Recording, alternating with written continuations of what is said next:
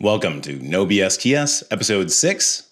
In this one, we're going to look at the oddly named tuples, define what they are, and then show how to implement on them and show some common implementations that you might see out there in the wild. All right, let's get right into it. So the first thing I'm going to do is create another file called tuples. And I'm going to make what most people would consider the kind of canonical tuple, at least in the documentation, and that is a 3D coordinate. So I'm going to define a type of 3D coordinate.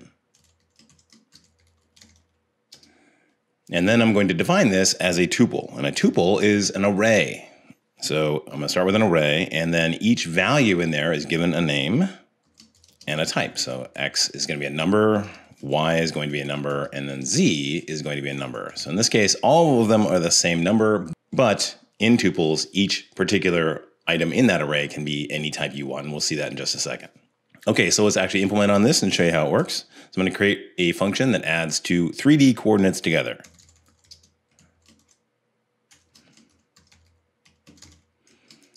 So it's going to take C1, which would be a 3D coordinate, and then C2, which is also a 3D coordinate, and then it's going to return a 3D coordinate.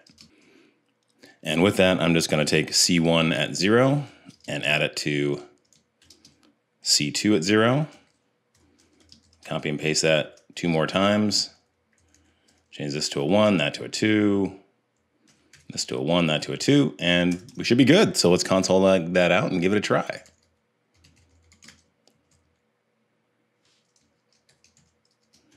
And we just specify it using an array. So let's say 0, 0, 0 and add it to 10, 20, 30. See how that goes. All right. Let's do npx ts node and then do tuples. See how we go. All right, 10, 20, 30. Let's make sure we got the right order. So just change out that origin point or whatever. Yeah, looking pretty good. Okay, great. But if you're a React engineer, you actually probably deal with one particular tuple all the time, and that's the useState tuple. So useState returns a state and then a state setter.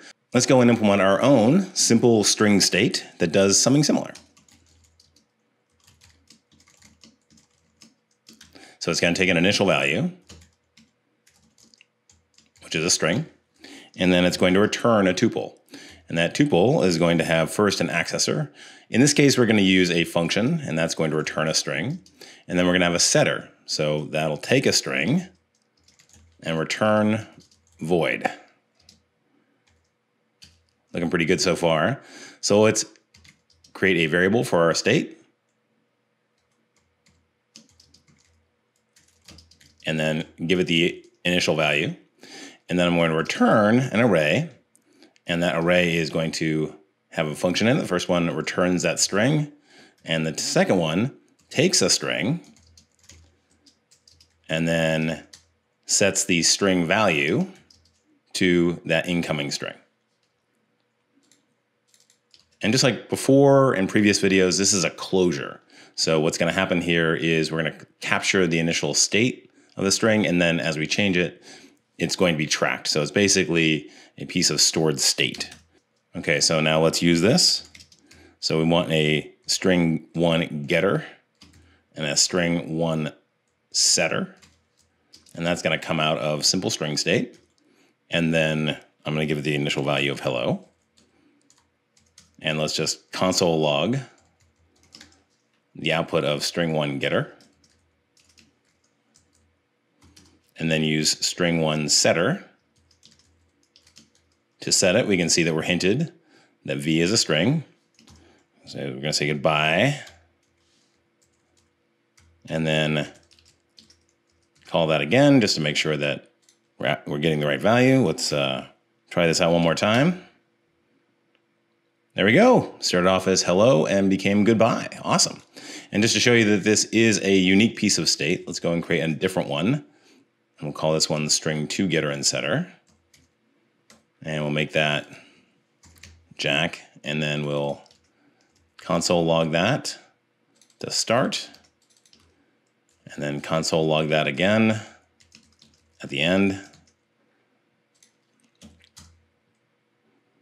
And you'll see that there's no difference, right? So we don't actually set string setter to, uh, and so it's still going to retain the same value as it had when we initially called that function. Okay, so now you know that a tuple is an array, and each one of the elements in the array can be named and have different types. In the next one, we're going to look at my favorite part of TypeScript, and that's generics. And I think that's when you start to see the real power of TypeScript. Can't wait to see you there. Of course, in the meantime, if you like this video, please like and share it with your friends. And of course, if you really like the video, hit that subscribe button and click that bell, and you'll be notified the next time one of these videos comes out.